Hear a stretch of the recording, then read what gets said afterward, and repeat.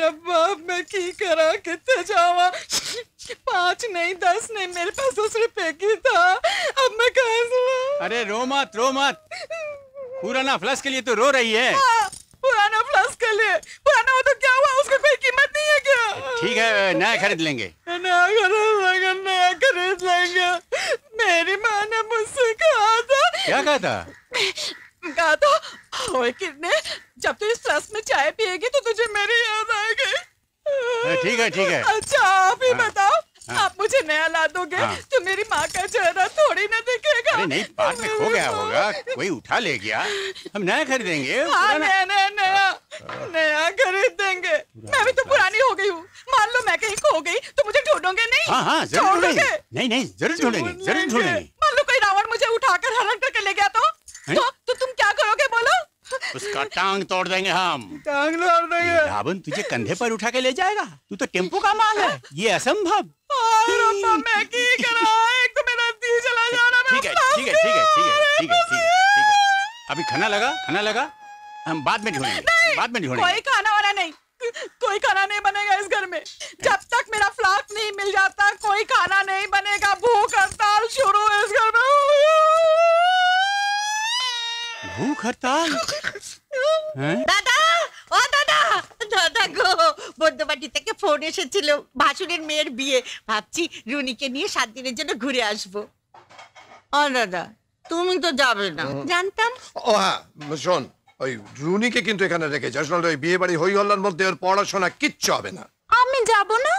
না সামনে পরীক্ষা সে কথা তোমার মনে আছে? তাতে কি হয়েছে? আমি তো বইপত্র সঙ্গে করে নিয়েই যাব। মামা প্লিজ মামা প্লিজ ঠিক আছে ঠিক আছে ঠিক আছে।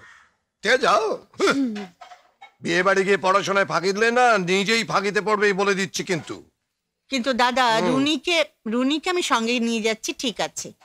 কিন্তু তোমাকে এখানে একা কাম করে রেখে যাই বলো তো? তাতে কি হয়েছে? বাড়িতে ঠাকুর রয়েছে কাজের লোক রয়েছে আর মাত্র তো সাত দিনের ব্যাপার। আমার কোনো অসুবিধা হবে না। কিন্তু দাদা হ্যাঁ। যেখানেই যাই তোমার জন্য তো একটা চিন্তা থাকে। ওহ, বাবা। রুনি এই তোর মায়ের ঘ্যান জ্ঞানানি শুরু হলো। আরে বাবা এত করে বলছি দেখতে দেখতে সাত দিন আমার কোনো অসুবিধা হবে না। এই শোন না ভালো কথা মনে পড়েছে। কি?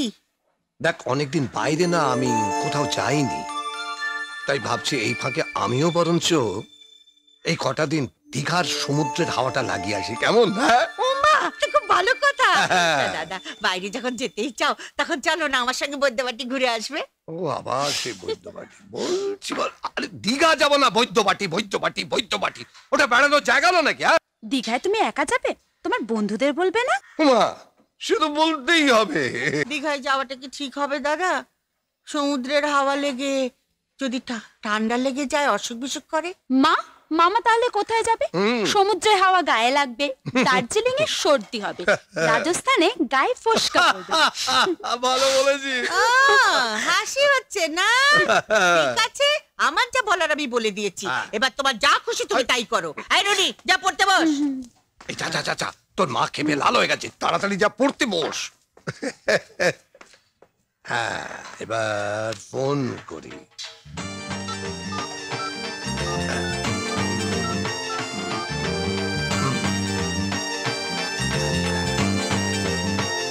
হ্যাঁ দিবাকর